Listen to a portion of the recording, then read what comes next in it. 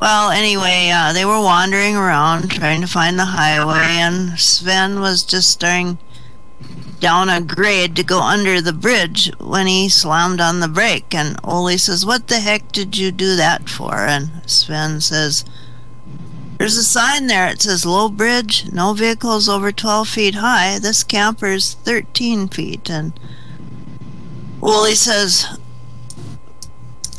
Sven, there ain't no cops around. Just hit the gas pedal and go for it.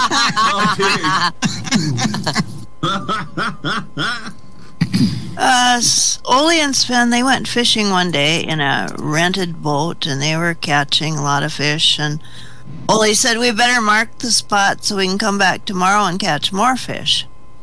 So Sven, he put an X on the bottom of the boat and Ole asked him what he was doing, and Sven said he was marking the spot so they could come back to catch more. And Ole says, You big dummy, how do you know we're going to get the same boat tomorrow?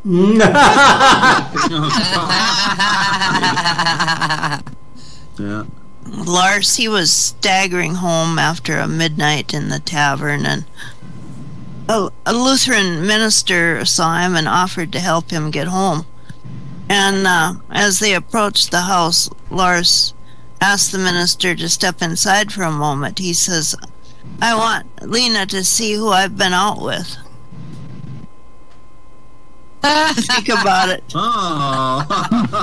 you have to think about that one for a second. Okay. Uh, uh, uh, Ole and Lena had been married 12 years without any children.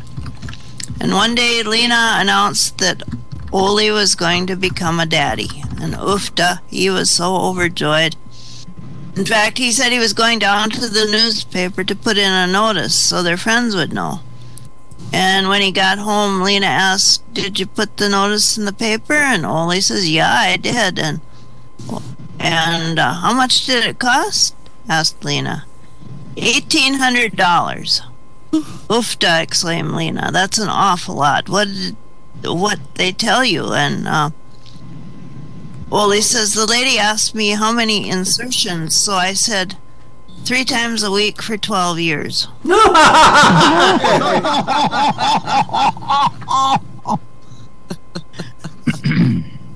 um, Ole and Lena, they went to New York City and they were caught in traffic and a homeless person started washing the windshield and well, he rolled down the window and he, uh, the homeless guy says, uh, how's it going?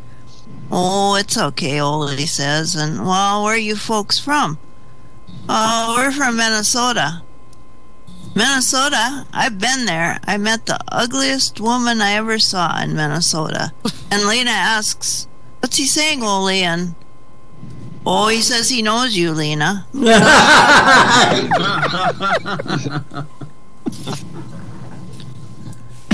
Um. Ole and Lars, they go ice fishing, and Ole pulls out his new thermos, and Lars says to him, What you got there? And Ole says, Well, Lars, this is a thermos.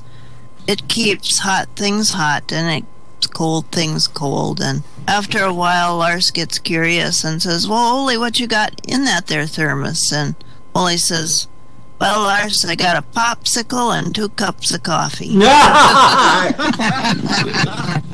got sludge, is what you got now. uh, I don't know. These are pretty bad. they are not. They're good. We like bad. We like it. actually tastes good. Try that sometime. Melt a popsicle in a coffee. Just let it sit there. flavor. What flavor? Yeah. Well, let's see. Maybe I could do one more. All right. Okay. Uh, oh, here we go. Ole and Sven, they go moose hunting every winter. They never have any luck, and so they come up with this foolproof plan. They get a uh, authentic female moose costume and learn the mating call of the female moose. and uh, the plan is to hide in the costume, lure the bull, and when he come uh, comes, come out of the costume and shoot it. And they set themselves up on the edge of a clearing and put put on the costume and they start to give the moose love call. And before long, the call is answered, and a bull comes crashing out of the woods into the clearing. And uh, when the bull is close enough, Ole says, Okay, let's get out and get him. And it seems like an eternity, and Sven in the back shouts, The zipper is stuck, the zipper is stuck. What are we going to do? And Ole says, Well, Sven, I'm going to start nibbling grass, but you better brace yourself. Oh, oh my Yay! god. Yay. That was- Bad enough to quit. Okay, thank you. That was great, Synnove. Thank you. Give it a